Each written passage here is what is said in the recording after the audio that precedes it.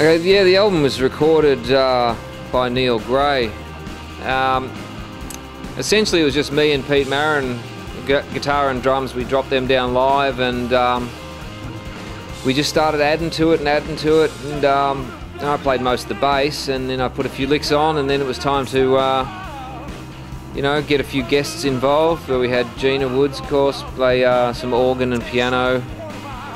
Uh, Ken Evil dropped the double bass on a few songs, and um, Emma Donovan come in did a really nice kind of soul style vocal harmonies for me, and um, Garrett Costigan, of course, come in and played pedal steel on three songs, which uh, helps a lot. And um, it started off kind of small and just got bigger and bigger and uh, more complicated, but here we are. I'd say the Stompy, uh, Stompy and the Heat sound would be uh, like a 60s inspired uh, collection of rock and roll bluesy tunes. There's some fuzz in there, there's some kind of surf kind of sounds in there.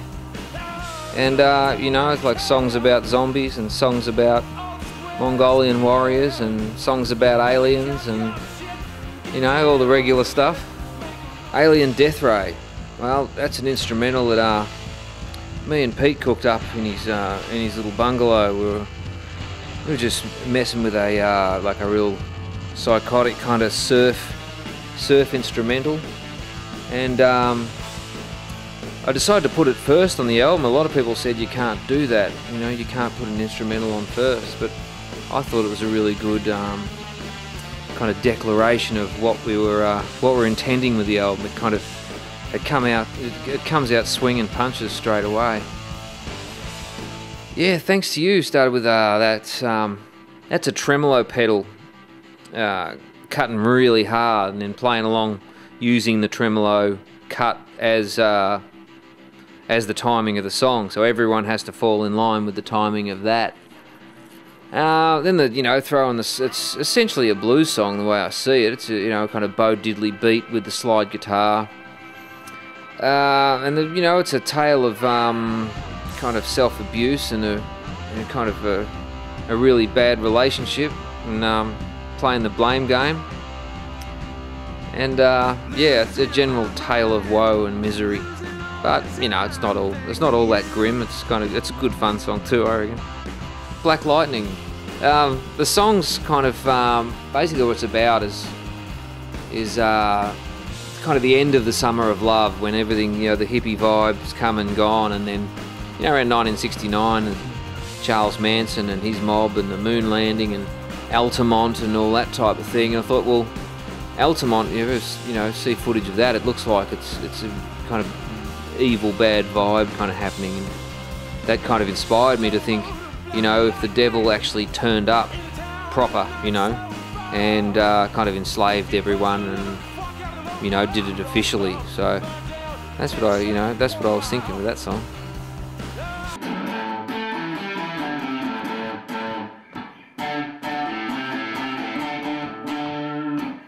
Yeah, here comes Stompy is um, it's one of the, it's like a you know in the tradition of um, the kind of bragging songs like, you know, I'm the baddest dude around and you know, I got a I got a black cat bone and all that. It's probably a bit more comical and a bit more fun than just kind of straight out kind of uh, bragging. But um, you know, Stompy struts into town and he's pretty confident. He's just a he's a fictional character, I suppose. And then uh, I suppose it's a real good chance for me to kind of uh, get the fuzz pedal going hard too, and just um, kind of let loose, and yeah, that that's as probably as uh, as mental as the guitar playing gets on the whole album, I reckon.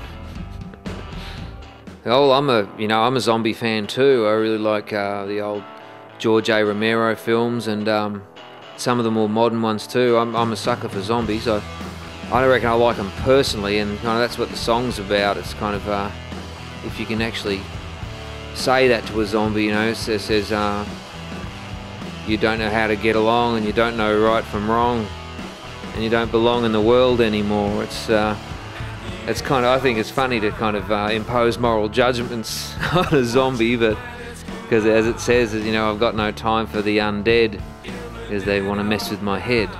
That's a big kind of fuzz tone, kind of it's a bit of a dirge really, because it um, you know, there's not there's not really any changes in it. It just kind of, uh, you know, it just struts along probably like a like an actual zombie would. You know, I don't think there's, I don't think a, a zombie, um, you know, himself would have many uh, changes. So it's probably uh, it's probably an apt soundtrack to a zombie walking along. You know. Uh, Your Affections is um, probably a, probably the nicest song on the album. It's um, I'd call it a, like a sweet blues song. Has some uh, some very nice. Um, all the guests are on that one. You've got Ken Evil slapping the double bass, and um, Gina Woods uh, plays some nice honky tonk piano on it, and uh, the great Garrett Costigan gets the uh, working the pedal steel. So that's a hoot. That one. I, uh, I'm very proud of that song. I'm very happy with the way it turned out.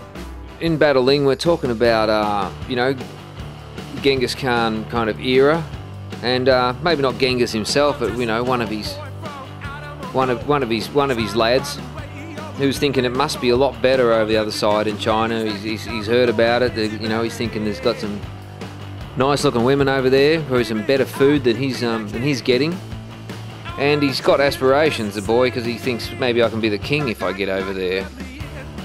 And uh, Badaling itself is a uh, is a is an actual town in China where you can, uh, where I've been once or twice, and uh, you can get on the Great Wall and imagine those kind of hordes of Mongolians, and you think, wow, it's a pretty good fence. You know, when you when you see it in the flesh, it's uh, it's pretty serious. yeah, don't tell me, bit of a Stonesy vibe.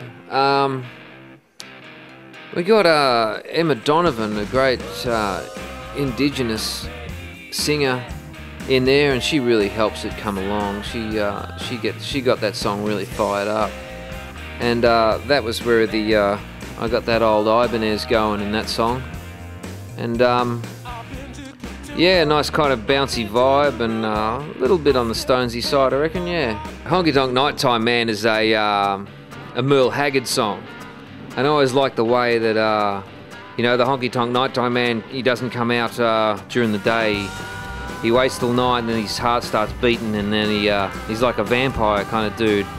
Yeah, apparently Merle wrote that for uh, wrote that for Lynyrd Skynyrd, but I, we did it in a bit of a bit of a tough kind of way with like a Motorhead sound when I started it. But then um, you know the double bass come in and uh, you know the all the other instruments kind of brought it back into more of a country feel. It's the only cover of the album, and uh, I don't mind Merle Haggard. He's cool. The Last Wave is probably the only spot I could put a song like that. I mean, you know, this, the album's pretty rowdy, and then you got to kind of uh, come down at the end with a nice slow instrumental. I wrote that kind of in honor of, uh, you know, of this of surfing friends of mine. I don't surf myself. That's not going to happen. But um, I was thinking it, it, it's kind of a funeral song for a surfer. So uh, I just wanted to write a bit of a tribute to uh, all the uh, the fallen surfers. Alright, if you want to know more about Stompy and the Heat, uh, check the website, stompyandtheheat.com. And uh, our uh, the album's available at all good record stores, or you can download it on iTunes. We'll be doing our album launch on the 12th of January at the Tote Hotel in Collingwood. Uh, we got the Exotics with us, and we got Richie 1250 and the Brides of Christ. Hope to see you there.